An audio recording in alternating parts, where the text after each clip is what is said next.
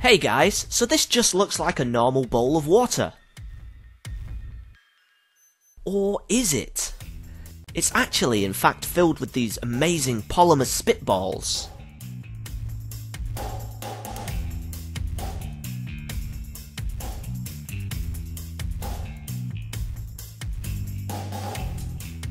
When left in water, they absorb it using osmosis.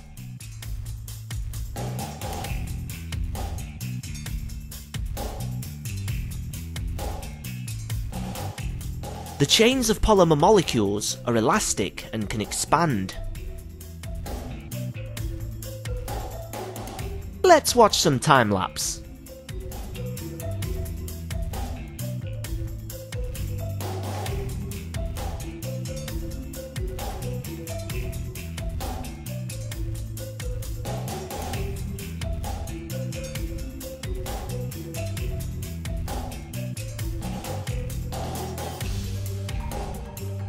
Also notice the amazing refraction.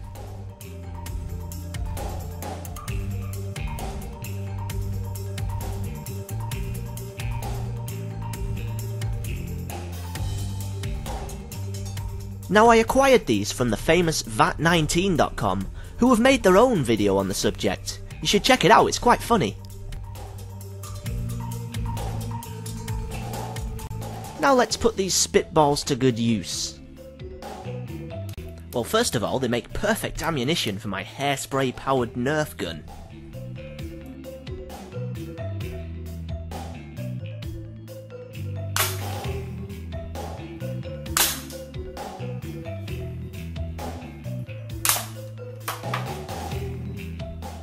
After messing around for a while and shooting random objects, I decided to mix up some water and table sugar.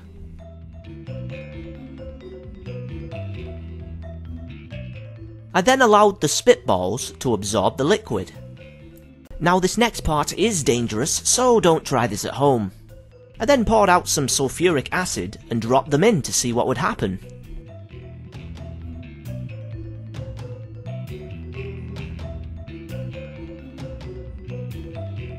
They instantly started to change colour.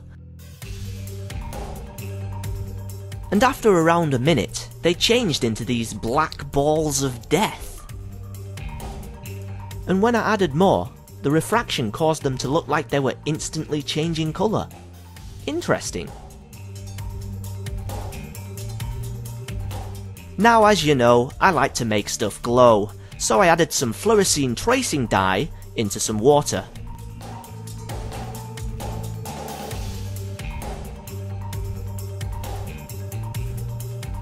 I then added the spitballs, allowing them to absorb the fluorescent water. And now we have these UV Rave spitballs.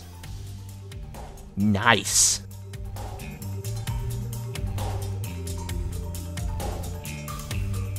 So there we have it. Polymer spitballs.